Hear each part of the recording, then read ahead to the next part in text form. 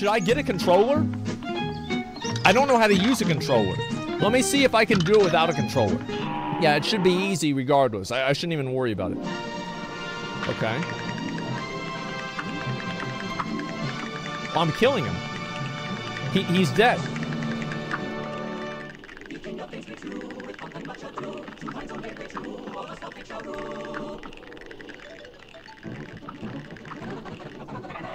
Oh, um, I bid thee welcome to my floating palace. Uh, I'm the one true king, the king of games.